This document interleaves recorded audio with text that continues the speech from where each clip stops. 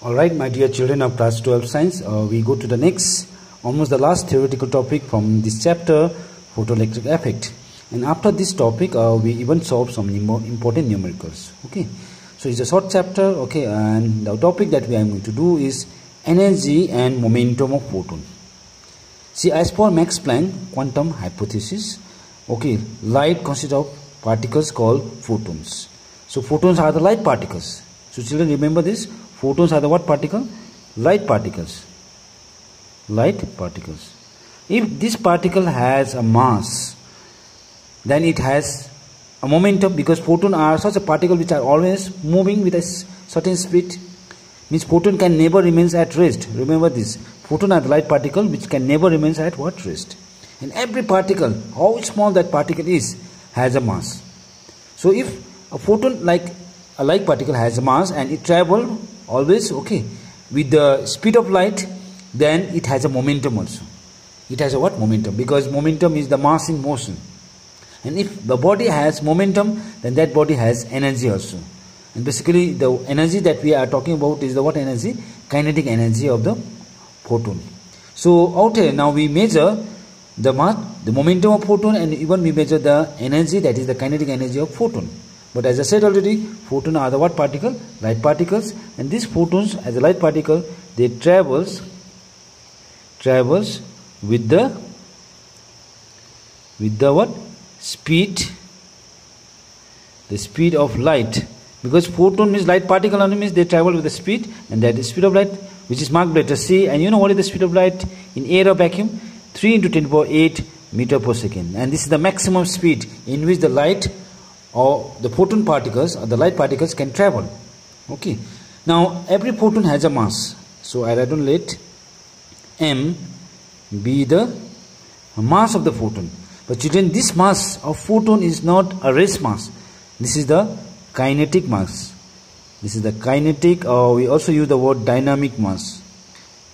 Because what dynamics also related to motion. That's why the kinetic and dynamic is related to motion. Uh, this is the moving mass let m be the kinetic or dynamic mass of a photon. Okay. Now, from here I can say that photon are the particles which are always in motion. Okay. That means the rest mass of the photon is always zero. So, look at this part. The rest mass of photon is always what? Zero. So photon has no rest mass because photon can never remains at rest. Okay. Now, in order to write the relation of energy and momentum of photon, Albert Einstein, as has, he has already uh, proposed, uh, made the explain what photoelectric effect by using quantum theory of light. He even expressed a relation between energy and mass. And this is a very famous equation, children, you have learned already. And this equation is given by E equals to mc square. E equals to mc square. That means energy of a particle having mass is given by E equals to mc square. Now energy particle like photon also has mass and they are traveling with a certain energy, or certain speed. And the speed of photon is what? c. The speed of photon is what? c. And this photon which has mass and travel with a speed c has energy also and the energy is given by E equals to mc square. So this is a famous Albert Einstein's equation. Einstein's equation. Einstein's energy mass equivalence. This is actually called Einstein's. Let me just write the relation. Energy mass equivalence. Now the details of this uh, relation you learn in one of the chapter in the next unit. Okay, so at that time you learn energy mass equivalence is one of the chapter you learn. But just remember this: as for Einstein's energy of photon is also expressed by E equals to mc square. Okay, but Children, energy of each photon is also given by what? h nu. This is according to Planck's Planck hypothesis, where free nu is the frequency of what? Photon, the frequency of light. That means these two energy are equals to each other. So just let me write down this way. mc square now equals to h nu. This energy means mc square according to Einstein's equation. So that mc square equals to h nu. So it's mc square equals to h nu, then m equals to s nu by c square. So look at the relation children. This is the relation that can even measure the mass of the photon. So if you ask to measure the kinetic mass of the photon, then it can be measured by m equals to h nu by c square or I can also write this as e by c square also because h nu equals to c e so m can also be written as e by what c square so the kinetic mass of the photon can be measured by this formula but we now measure the momentum of photon. Yes photon has a momentum also. So momentum is mass into velocity. Okay so I write down now the momentum of photon. The momentum of photon. And the momentum of photon is marked by letter P and momentum is mass into the velocity that is is equal to the speed of light or the velocity of light in air or vacuum. So P equals to m into c. So let me just substitute the value. P equals to m. As per the relation m equals h nu by c square. Let me substitute this one only. H nu by c square into c. Already there is c. And this c and 1 c square. Cancel out. So it will be p equals to h nu by c. So look at the relation now. Momentum of photon equals to h nu by what? C so if photon has mass which is a kinetic mass then that moving mass of the photon is expressed by the momentum and this momentum is given by h nu by c so this is the momentum of photon but this momentum which we have expressed in terms of what uh, frequency, max uh, Planck's quantum, uh, Planck's constant, and the speed of photon. But children, momentum. This momentum can be expressed in terms of what? In terms of what? Uh, the wavelength of photon. See, light has wavelength also. Means photon are the particle which are traveling with the speed of light. Okay, that is the radiation, and it has moment wavelength also. Okay, it has what wavelength also. So there is a relation out here, and the relation is okay speed is frequency equals to speed by wavelength look at the relation children frequency nu equals to speed by wavelength so i replace now this nu equals c by lambda in the expression so that we can measure momentum in terms of wavelength also so i'll substitute the value of nu see momentum means what as nu by c okay so let me now replace uh, h by c i write like this only now nu equals to c by lambda c. So this nu equals to c by lambda. So this c and c cancel out. So momentum equals to h by lambda also. So look at the expression of momentum of photon.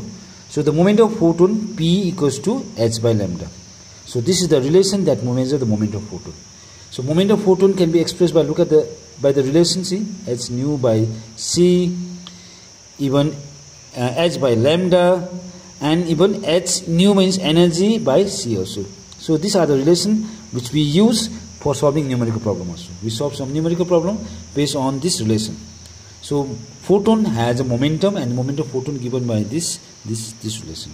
And photon has energy also and you know energy i have already written as e equals h nu one expression and e is also equals to what? Mc square. So this bracket sign which i have given okay a box sign which I have mentioned out here that's are the expression of energy and the momentum of photon. Okay. Now we utilize this numeric uh, sorry uh, relation to solve numerical also now children we are coming back to the numerical problem okay some important numerical we need to solve from photoelectric equation and even the energy and momentum of photon now children we solve some important numerical as I said already and let's start with problem number one this is a simple problem based on photon. Okay. The question says that calculate the momentum of photon. Yes. Means we have a formula out here. We use any one of the formula to calculate the momentum of photon. Means momentum we need to calculate. Question mark. Of green light. But which particular light uh, we are measuring the momentum? Green light. And that light has a wavelength lambda which is 500 nanometer. So this is nanometer. But children I convert nanometer into meter. So what I do? I multiply by 10 to minus 9 meter because 1 nanometer means 10 to minus 9 meter. So look at it. 500 means 5 into 10 to power 2.